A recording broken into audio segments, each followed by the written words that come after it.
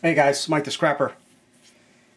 I'm going to show you what's inside a battery charger. When you need to charge a battery for your car or your truck or you know anything else that needs charging, this is it.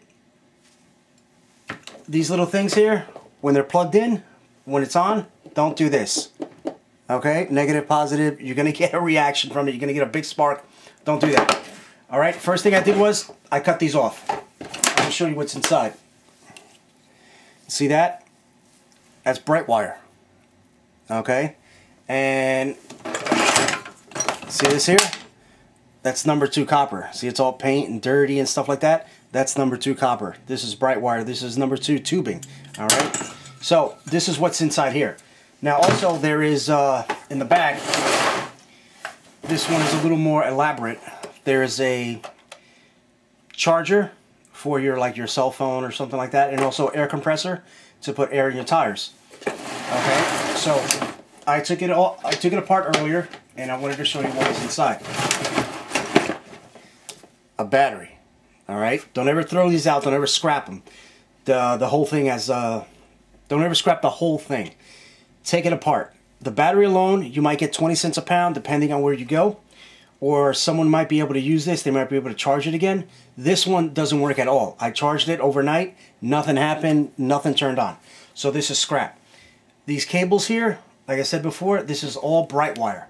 All right, I'm to put this th through a, a stripper and open it up. A lot of cables, some low grade. There's pretty much not much in that. Back here, more cables. There is a, uh, a thing in here. Let me unscrew this. Okay.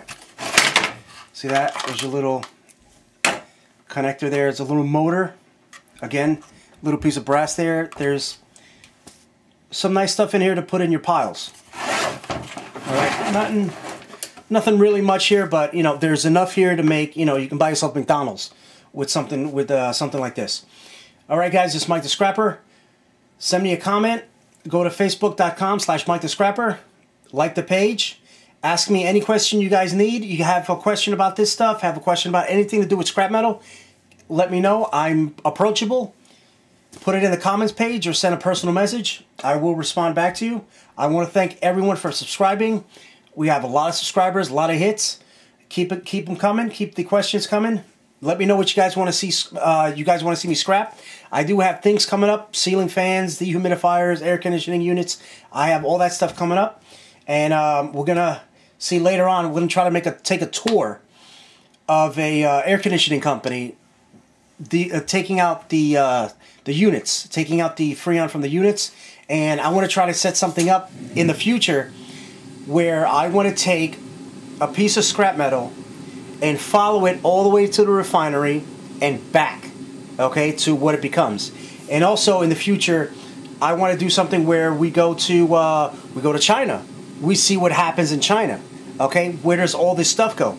This will be something a YouTuber has never done, especially with scrap metal. Taking a piece like this little cable here, following it all the way to, to China, wherever wherever these things go, and see what happens over there. All right, guys. Till then, peace.